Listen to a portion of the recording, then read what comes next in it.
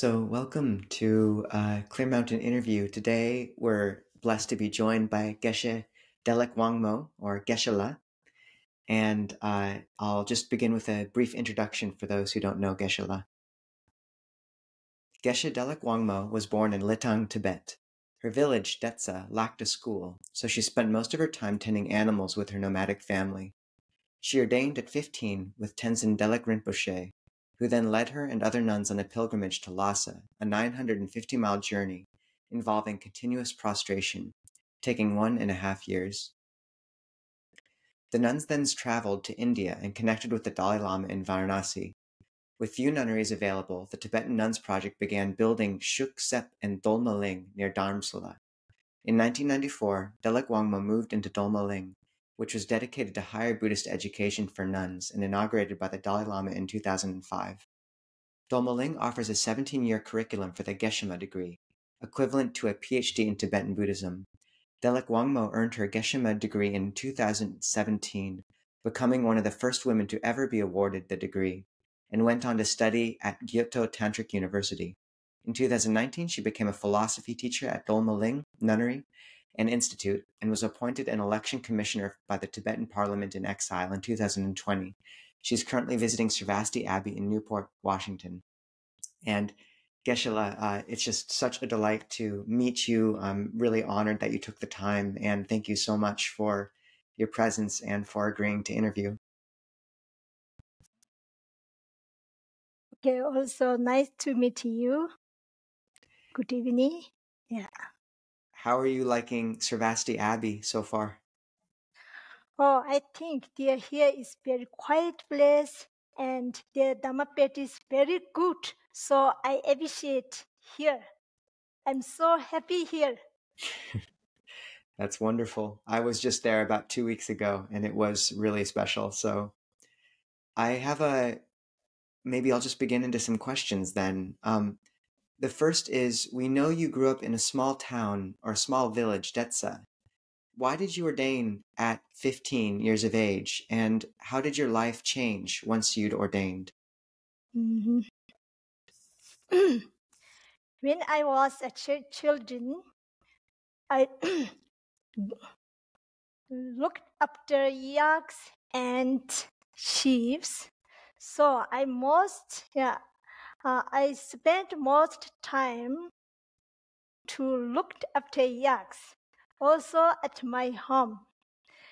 Then I saw some nuns and monks.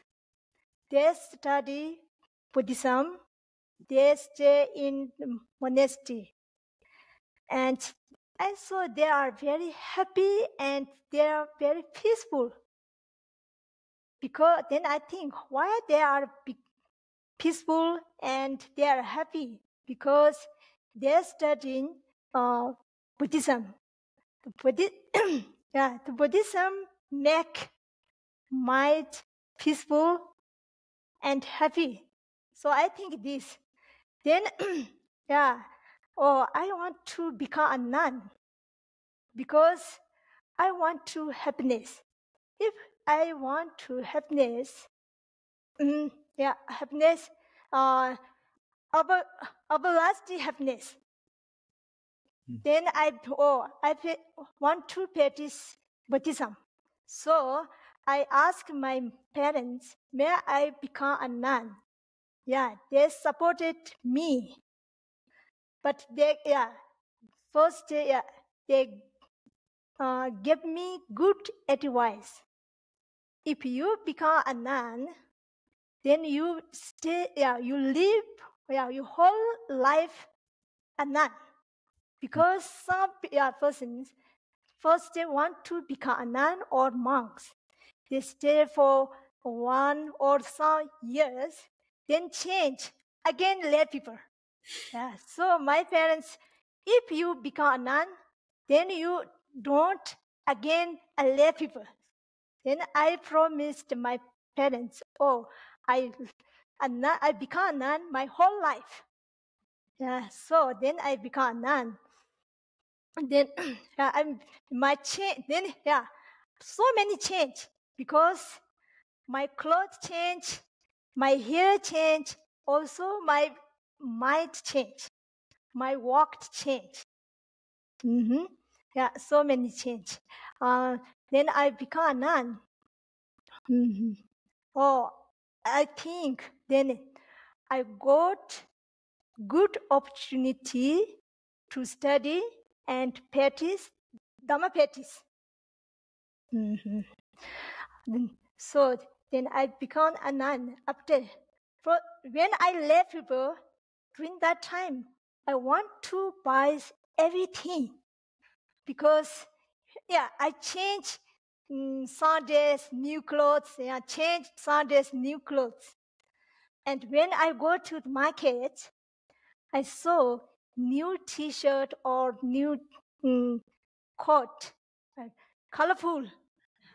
So I want to buy this, but sometimes I don't get buy. Uh, I don't get this. During that time, I have suffering. Mhm. So I become I became a nun after I don't get this suffering. So I ch- so many change when it became I a nun. Yeah. Thank you, Geshe-la. What did your other 15 year old friends think of you becoming a nun? Yeah, they appreciate to me because in our in our Tibetan traditions, in a in a family, three or four ch- children, the oldest children, uh, they mm, look after at their parents, and the younger children, two three go to the monastery. So my friend, uh, yeah, I have some friend, uh, 50 years, uh, 15 years old. When I became a nun, they appreciate to me. Thank you, Geshe-la. That's uh, to the fact that you had that insight and made that vow when you were 15 years old is uh, astounding. Mm. I know that you didn't just go forth as a, a nun at that point, but you actually soon went on a 950 mile, year and a half prostration pilgrimage from your village to Lhasa. What motivated you to do that, and what was your daily schedule like? Yeah. I have good motivation because yeah, I want to uh, accumulate it merit. So if I want to accumulate it merit, then how I do during that time I think. Then I heard I have uh, three root lama in Tibet. I I heard one one of my root lama. He yeah fr- yeah go to Lhasa. I heard then yeah he lead some people from Litang to Lhasa, and during that time he yeah prostate from. I heard this. Then I asked my parents, parents, yeah, may I go with my root lama? I asked my parents, also my parents, yeah, you can go, yeah. They supported me. Mhm. Then, oh, I think, yeah, if I prostate on the way, oh, I have good motivation, or I make good karma. I created good karma. I think this. Mhm. So then I yeah, pro- prostate on the way from Lhasa to the. Mhm. During that time, I have yeah. First day we came from our family. During that time, we took uh, many food and many clothes, yeah, from our family. When we arrived at a half road, then the, our food ran out. Mhm. Yeah. Then how? Yeah. Then what do we do? We think first. Then we begged in the village food. Yeah. the villagers are very kind. They gave us cooked food for each enough for one yeah, week. Yeah. Then we prostrate again. Mhm. We can do. Sometime in the yeah, in the summer, heavy rainy. So then we continue prostrate and our clothes got wet. Mhm. In the winter time, and in Tibet, so many snow fell. During that time, we co- very cold, but we continue prostrate. Yeah, uh, sometimes yeah, we I had yeah sometimes yeah. During that time, I have got problem because sometimes our food ran out and sometimes very cold. Yeah, got problem, but I think mhm, it is not problem. I try to overcome overcome that problem because I want to have yeah, over yeah, everlasting happiness. If I have everlasting happiness, I try to uh, create karma, good karma. So we can do. During that time, when we got problem and suffering, during that time we thinking again. Oh, I have problem. I have suffering because I am in, samsara. I am existing in samsara. So sometimes we have problem, but during that time we try to overcome that problem. Then we yeah can do everything, and during that time we try to courage, so we can do. Yeah. Geshe-la, that is so inspiring. And did you, how many hours a day would you prostrate for? And, and what does that look like? Is it prostrating every single step or every three steps? Yeah, we said this is our whole body like this. mm-hmm. uh, in a day, we prostrate uh, seven hours. Okay. Yeah, the yeah, some some yeah person very fast. There are six or five hours they can do each day.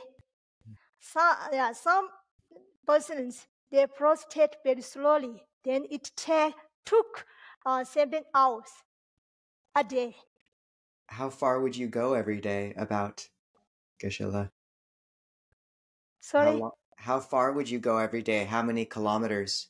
Oh, I, d- I couldn't say in kilometer because I don't understand the kilometer in when when I was in Tibet. And did you ever did you ever get bored or tired?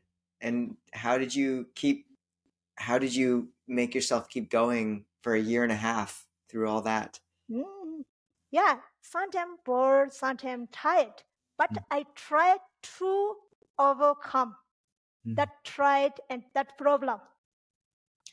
And what did you focus what were you reciting in your mind or who were you sort of dedicating those bows to? Was it to uh, Avalokiteshvara or to the Buddha or what mantra would you keep in your mind?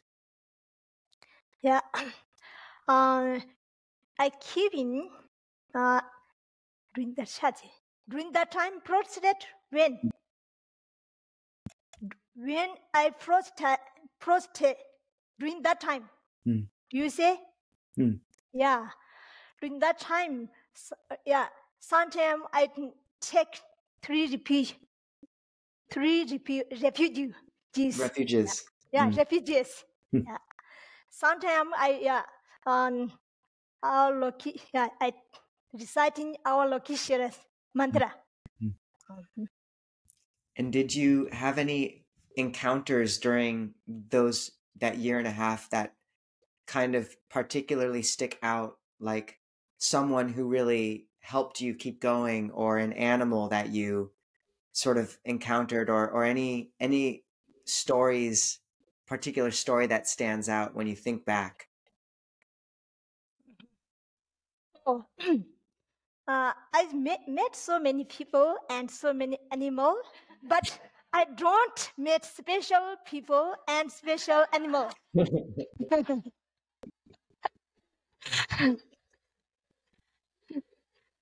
I will accept that answer. Thank you, Geshe-la.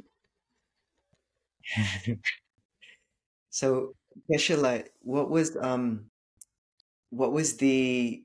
How do you think that pilgrimage changed you after you did it? After a year and a half, did you feel like the same person or a different person? Oh, I think mm, I ch- I changed a little bit. Yeah, because when I prostrate, during that time, almost mostly nuns and monks. The nuns and monks, they practice, practice Dhamma. So they are very peaceful and they talk each other respected. So I go follow them. So I change when I speak, other people respect it. And when I uh, met my root lama or higher class, I respect this. And I speak with them respectfully. So that is change. Mm-hmm. Also, I think I create I created good karma. Mm. Yeah. Thank you, Geshe-la. You got to Lhasa and you couldn't enter. So I believe then you went down to India and you were part of starting Dolma Ling uh, nunnery there. How did you come to go to India and start Dolma Ling? Mm-hmm. In in Monte from Monte Kalasha, to Nepal, I walked on the mountain for 28 days. Mm-hmm. Then I arrived in Nepali. Uh, Nepali too, I yeah, I want to Sarnath. Where there, I got uh, Kalachakra, His Holiness Dalai Lama gave initiation. I got this. I got ordains His Holiness Dalai Lama first in my life. And Saran Varanasi to Dharamshala, I went by bus. Mm-hmm. Yeah. Then I, Dharam, I arrived at Dharamshala. Yeah, I tried to join other nunneries, but I couldn't join the other nunneries because during that time the nunneries uh, facility is very poor.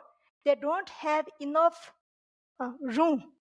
So I couldn't join other nunnery. Then, yeah, uh, we request to Chandrachen Khandola. She is a wife of his Honorable Dalai Lama younger brothers, brother. Yeah. Uh, then we, yeah, she, during that time, she is uh, she worked in nuns pro- project. Uh, so she helped us. Also, nuns project helped us. And we rented in India house. Mm-hmm. The India house is the don't, yeah, it hasn't bathroom and to- yeah, toilet. During that time, we have difficult Mm-hmm. And then we yeah we stay in India uh, India house, and at day we went to India Delhi Walker, and we built our nunnery. Mm-hmm.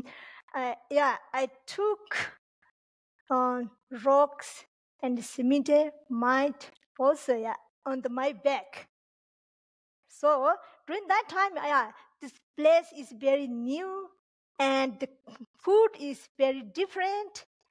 Also, we yeah walked very more yeah very hard. So I got have yeah I got problem. During that time, I yeah I got had no uh, problem. During that time, I remembered my lovely parents and family. But I think again, oh, I am so lucky because I got His Holiness, yeah, I got ordained His Holiness Dalai Lama, and I got initiation from him. So I'm lucky, and so uh, during that time I don't discourage. I have problem. I try to overcome for to my problem. Mhm. Uh, so then the nuns project help us facilities and we worked. So then we uh, in 2003 we had some nuns room and kitchen room, kitchen room and a prayer hall. Then we yeah, we moved our new nunneries, new nunnery. Yeah, we yeah, um, four nuns share a room, but the room is not big. It, a room, uh, bent bed, but bunk bed. So we stayed there. Yeah. Thank you, Geshe-la. How old were you when you were building Dolmaling? Um, six. Uh, yeah. When I was, I came to India. Fifteen. Then. Yeah. Uh, seventy. 17. Yeah. And how long Seventy years old. how long did it take you to build the nunnery? Uh, when I arrived India, 19, nine- 90, 19, yeah, 1919. Hmm. So we built for three years. 3 years of building it. Yeah, yeah. And what was the what was the biggest challenge when you were building that nunnery? Challenge. Yeah. So we have re- we have got so many problem because uh, because when we worked very hard we building during that time the food is not good for me usually food is good but that food is different for me because i am new there Mhm. so that is one problem Mhm. and the- in tibet the weather is very cold in india during that time very hot Hmm. so we walked we building during that time the weather is very hot so we have problem that And Geshe-la, when you're when you're in these distant lands, um, when you miss uh, kind of that environment where you grew up and stuff, how do you keep your heart bright and happy?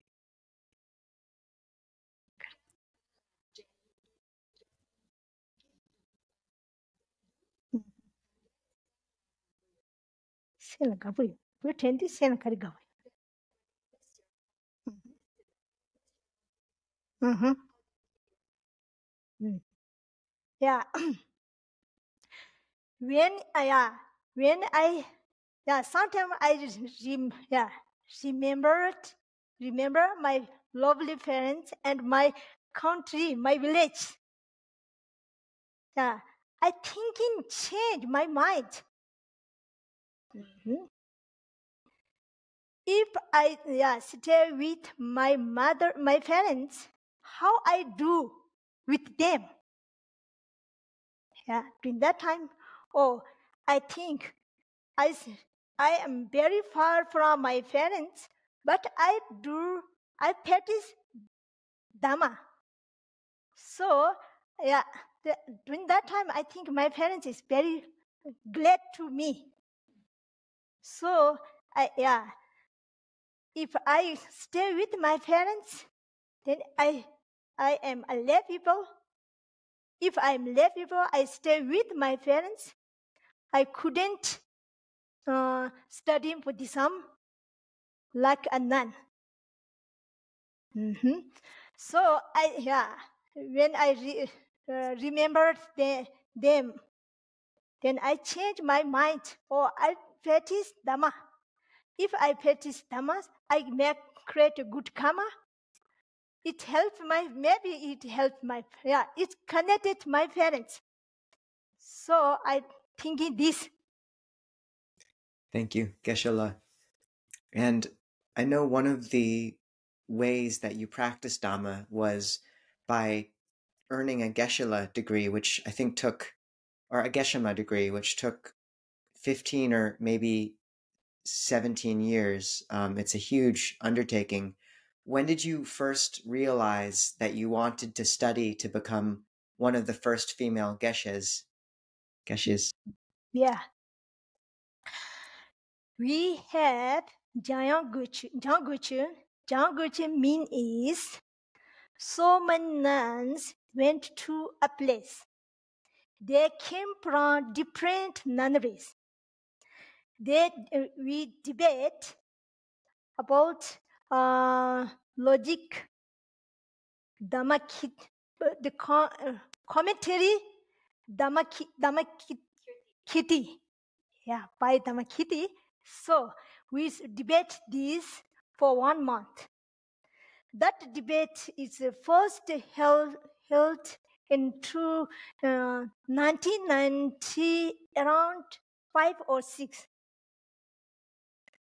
The, the, this Jangguchen is near the finish. At during that time, we got His Holiness Dalai Lama. Yeah, we got ordens His Holiness Dalai Lama.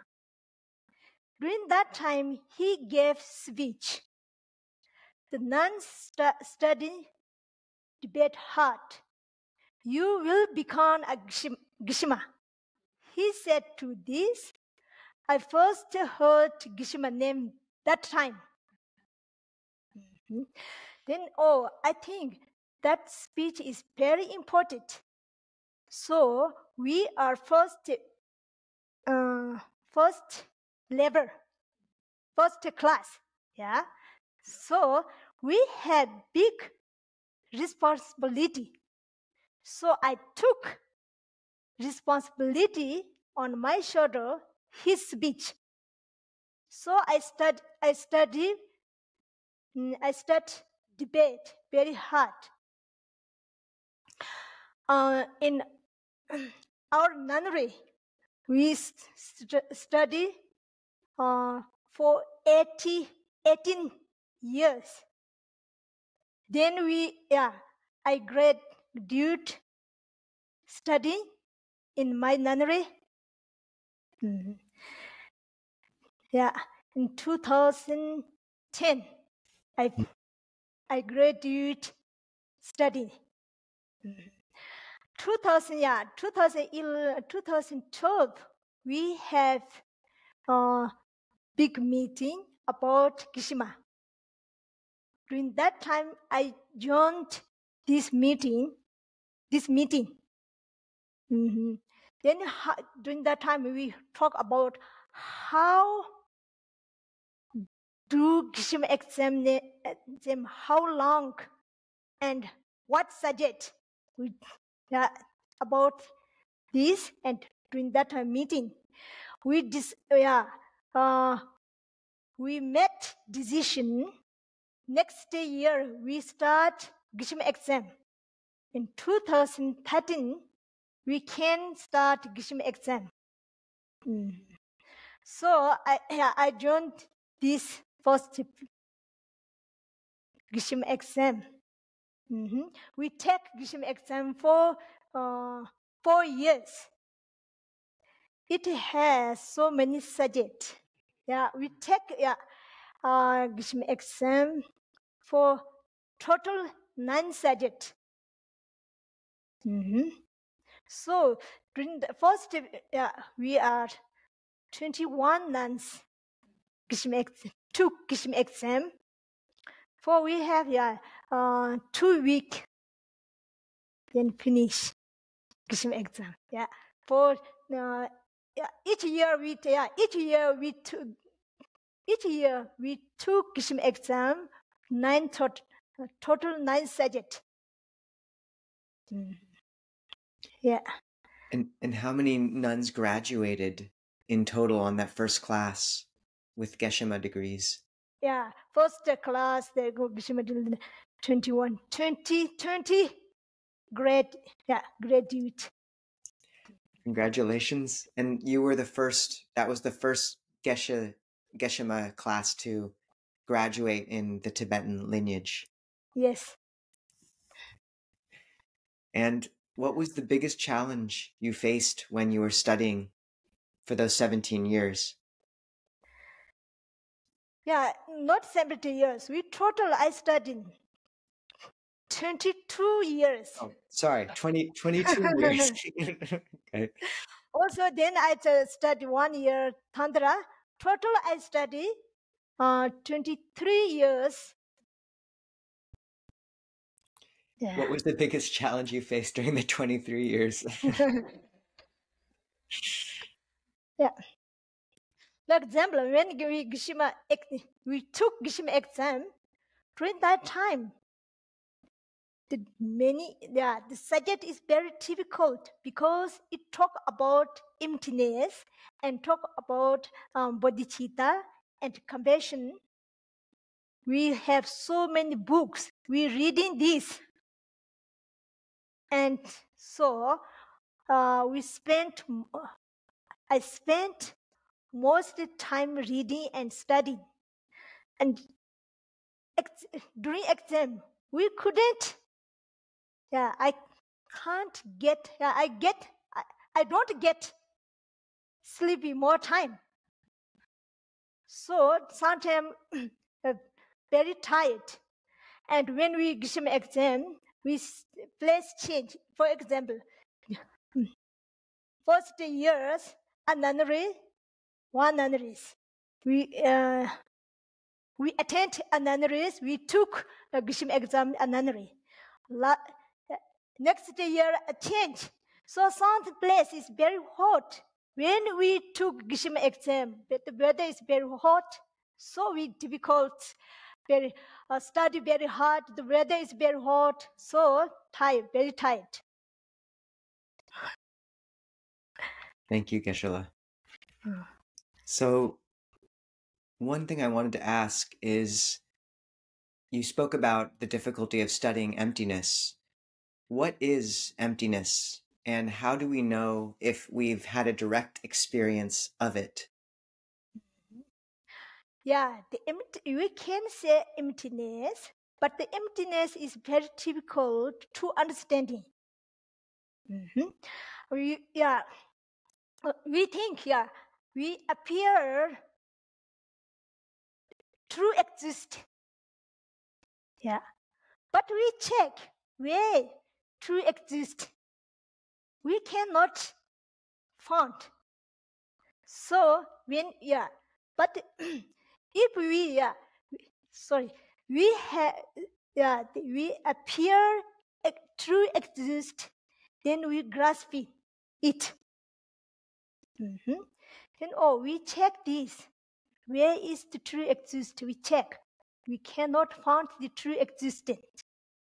So when we yeah, that is the the emptiness of the true existence. I can say, but we when we yeah check, it's very difficult to understand. How does that relate to bodhicitta? How does one who has realized emptiness, how does that help them cultivate the heart of bodhicitta? Yeah, the bodhicitta. Example, if a person who has bodhicitta, but he don't understand emptiness, yeah, he don't, uh, he hasn't emptiness wisdom. Mhm. Then he want to, uh, he want to attain enlightenment, but he cannot attain enlightenment. For example, a bird, a bird, it has two wings. It can fly in the sky. It's a bird. It has only one wing. It cannot fly in sky. It's sti- it exists in ground. He want to he want to uh, fly in the sky, but he cannot. It cannot fly. For example, this: if a person who has bodhicitta, but he don't has emptiness wisdom, he cannot and yeah, he cannot attain enlightenment. Mhm.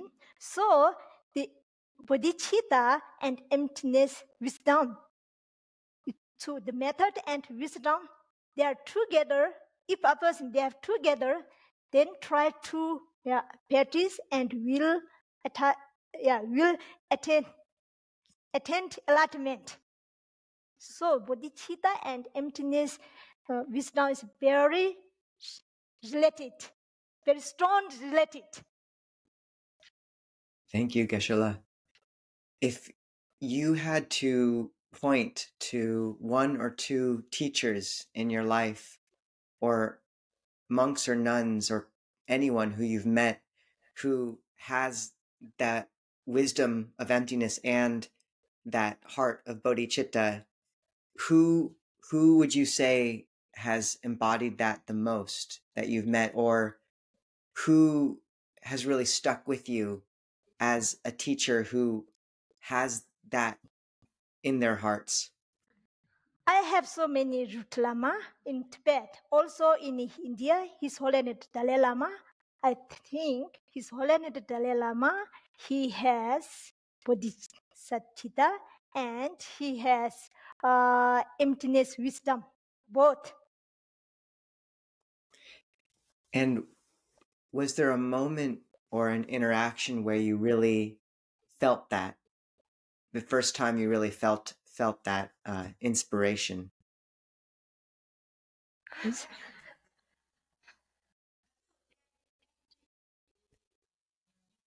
So, Mala, conceptually. When he, when he, yeah, he teach the people during that time, yeah, we know he has bodhicitta and he, he has emptiness. Because we, are we can see his action, Hmm. his yeah, body action and his speech we can see. So we know he has bodhicitta he has uh, emptiness wisdom. Every day he has. Thank you, Geshe-la. So, one other question is what are some of the greatest challenges currently faced by nuns in the Tibetan tradition? What are Mhm. your greatest hopes for nuns in the Tibetan tradition? So, greatest challenges and your greatest hopes. yes i have yeah i think this day the nuns and also monks same come, come less become less a nun less and less become a nun. Also monks become less and less because this day in a family who has one child children or on two children so they are they go to school. So the new generation not come not become nun and monks So I think, oh, when time our Buddhism, who who practice practice? Because nun and less and less, monks and less and less. So I think thi- this is I oh I worry about so much. Yeah. hmm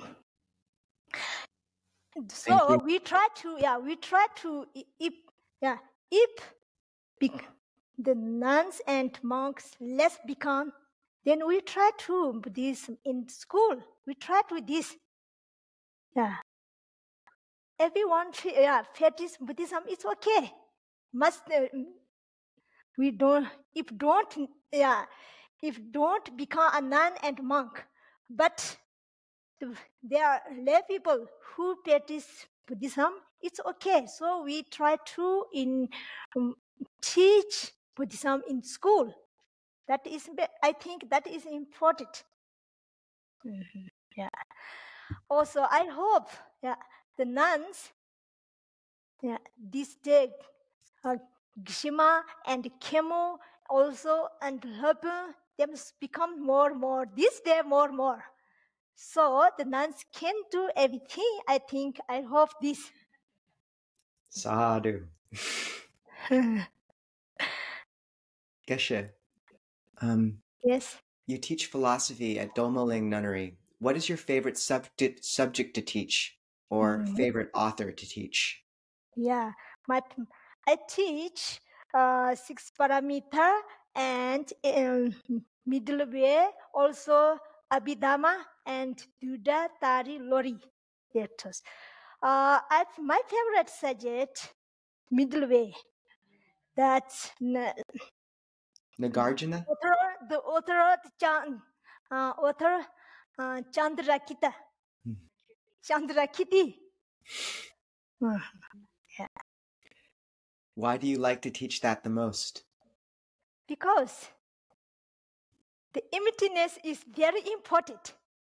It yeah, it's difficult to understand, but it is very important.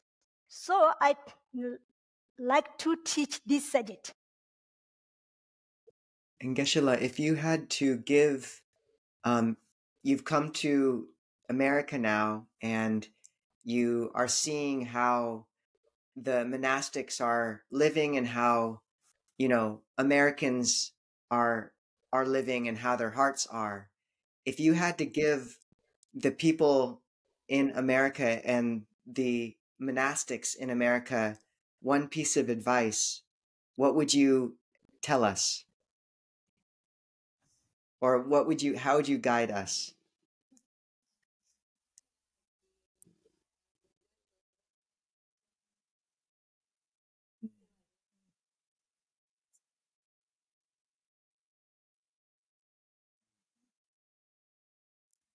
Yeah, I saw in monastic, community in Abbey in America. And I saw in America some village, but I don't see more. Mhm. Yeah, but we we all we are human being. We want to happiness. So if we yeah happiness, we want to happiness and uh, everlasting happiness. It is very important. So yeah, if we want to happiness, we try to should be a good person, and we should be good behavior. And um, yeah, our, we try to make our mind. Yeah, we try to ma- make our mind calm, calm. Mhm. Then we try to yeah friendly each other. It is very important, I think. Thank you, Geshe-la. I have two more questions for you, if I could. Um, one is some people pray to the bodhisattvas like Guan Yin or Avalokiteshvara. How do we? It seems to contradict the idea that we create our own karma. how do we reconcile asking uh, bodhisattvas for help with the idea that we are the owners of our own karma? Mhm. Yeah, when we have good motivation, so we yeah we had motivation. During that time, we get yeah uh, good motivation, and we recite uh, recite Avalokiteshvara Tandra or Taratandra. Yeah, so we create a good karma. For example, we mm, prostrate to Buddha statue. Buddha statue. Yeah, during that time we make good karma. We create karma. So it's same, I think. Right. Cool. That makes sense. We steer our intention towards the right symbol and internal uh, recollection or, or something like that. And, and this is a related question is when we recite a mantra, is it just the intention that matters or do the syllables matter of the Mm. mantra? Mhm. It's the, the important motivation. Good motivation is important.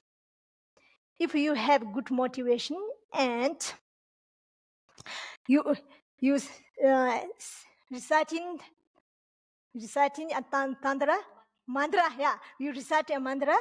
This is good.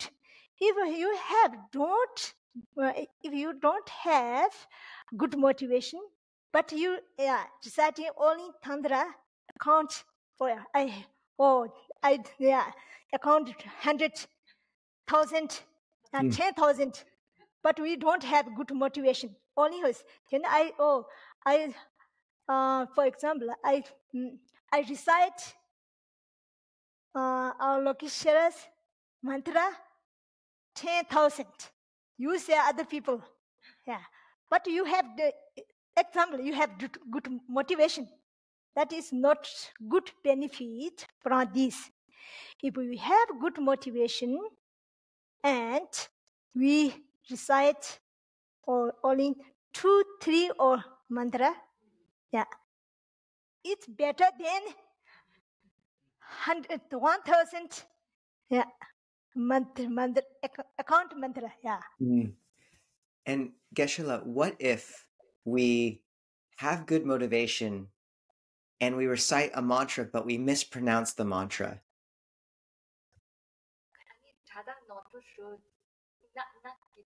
Mm-hmm.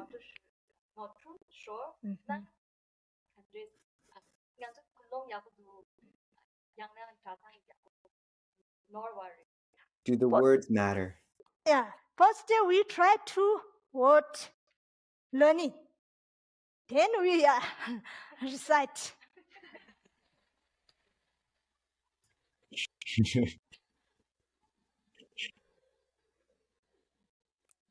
Thank you, Geshe-la. All right. I have one more. I have one more question for you, Geshe-la. Okay, Sorry, yes, yes, add yes. one more. Okay. Okay.